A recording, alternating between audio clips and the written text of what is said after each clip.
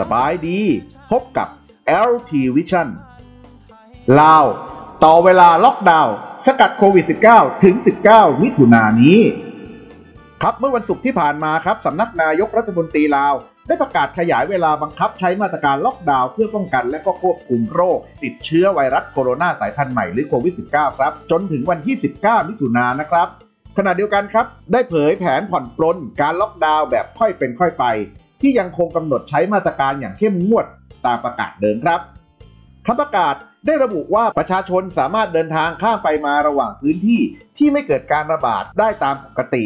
ส่วนผู้ที่ฉีดวัคซีนป้องกันโควิด -19 ครบ 2 โดสแล้ว เป็นเวลาอย่างน้อย 1 เดือน สามารถเดินทางทางบกทางอากาศ ระหว่างนครหลวงเวียงจันทร์เมืองหลวงของลาวและจังหวัดอื่นทั่วประเทศได้นะครับ โดยไม่ต้องกักตัว 14 วัน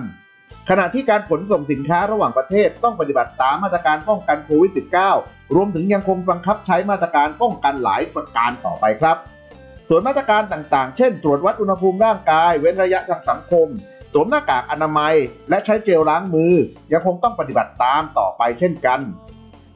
แล้วพบกับ LT Vision ได้ใหม่ในครั้งหน้า สบายดี